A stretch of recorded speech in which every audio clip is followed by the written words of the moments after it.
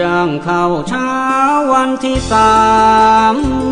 พระผู้ทรงธรรมเสด็จออกนำรับบิณฑบาตในเขตพารามหาปราสาทพร้อมหมู่ทรงดื่นดาดบินทบาทในราชวัง เสร็จภาตกิจแสดงพระธรรม นุนอุปธรรมพระพุทธบิดาอีกครั้ง พระเจ้าสุโธ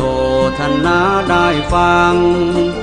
จบทำแล้วประจางตั้งอยู่ในพระนาคามี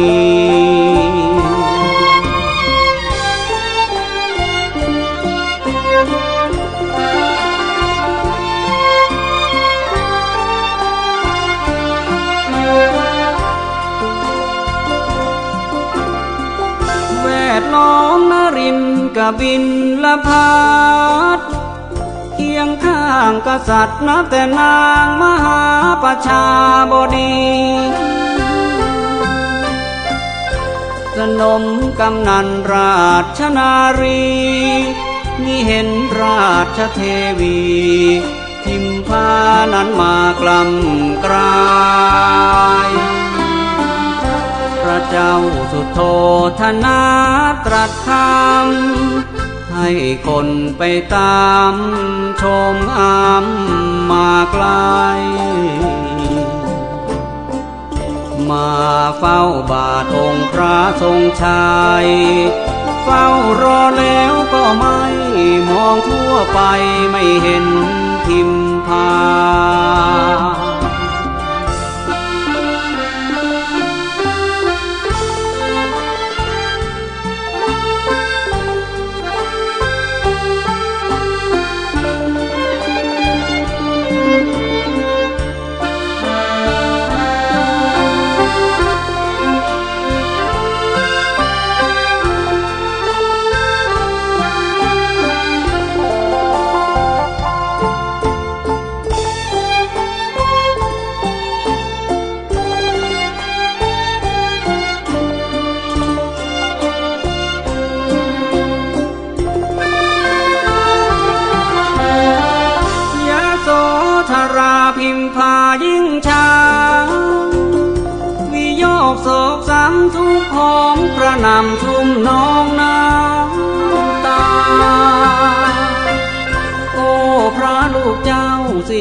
นเสน่หา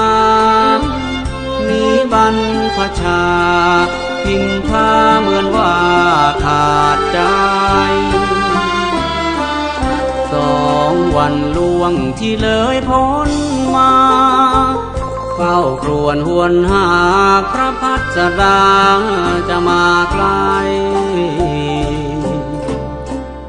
ยิ่งฟังข่าวปวดร้าวหาไทย โอ้พระเชษฐาช่างไม่มีพระไทยให้น้องพิมพา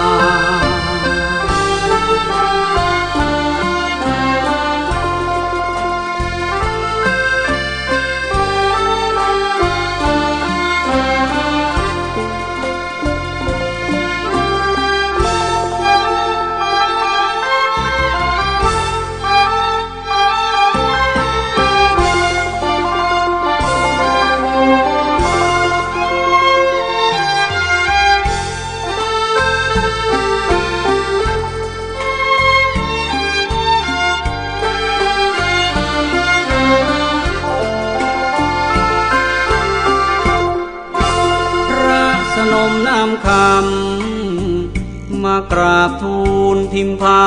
ยิ่งอาดูลทูลทเวศเววาบอกสนมกลับไป ทูลในสมเด็จจอมฟ้า ว่าโอ้พิมพานี้เป็นเช่นหญิงกาลกินีพระพัสดาแรมร้างนิราชโอหนอ เป็นไม้ได้ทุกทวี สิ้นยศสิ้นค่าสง่าราศีอย่ากวายชีวียังดีกว่าอยู่ดูหน้าผู้คน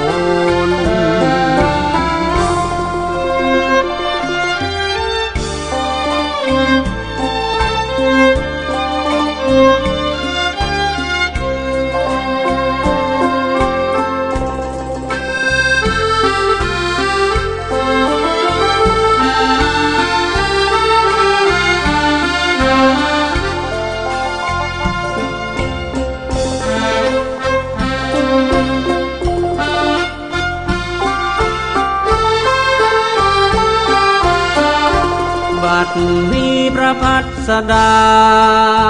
พระพัสดาเสด็จนิวัตมานิเวศ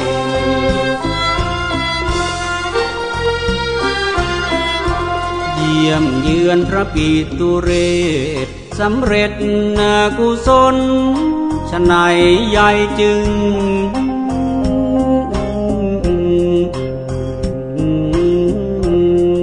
ชนายใหญ่จึง ไม่พึ่งยนต์พิมพาผู้มน มองราคี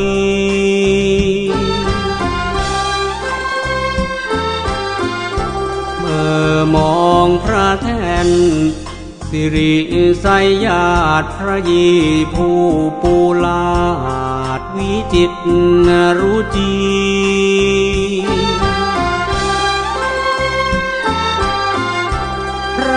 เคยเสด็จไปมา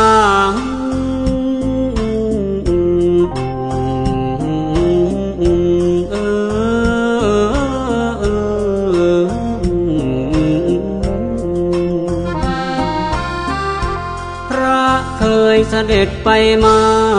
อยู่ทุกราตรี โอ้บัดนี้ มีแต่ว่างร่างลา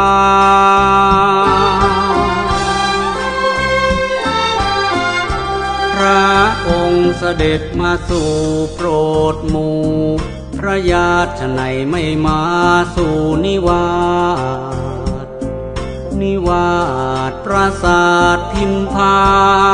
วันนี้แม้พระองค์ จะทรงงด ไม่เสด็จมาโปร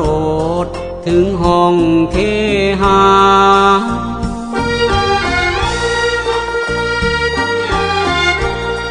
คงถึงวันแล้ว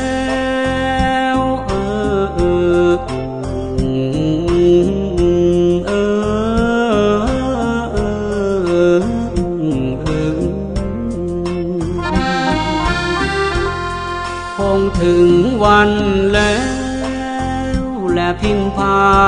กราบบังคมลาดับ ชีวาวายสนมนำคำกลับ มากราบทูล องค์ไอสูรให้ทราบความใน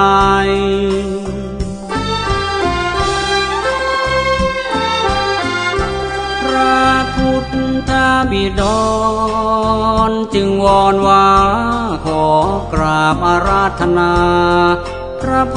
ธิญาณไป โปรดพิมพางผู้ทุกข์ใจ พระผู้ทรงชัยจึงได้เสด็จ สู่เขตห้องห้องของพิมพ พ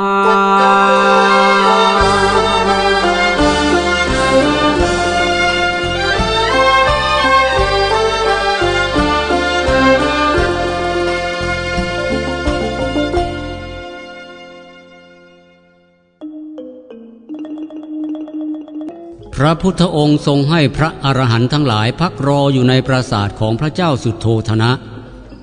และให้ทั้งสองพระอัครเป็นปัจฉาสมณะ ตามเสด็จพุทธดำเนินไปยังปราสาทของพระนางพิมพา โดยมีพระพุทธบิดาเสด็จตามมาห่างๆ การนั้นพระพุทธองค์ทรงตรัสแก่พระอัครสาวกทั้งสองว่า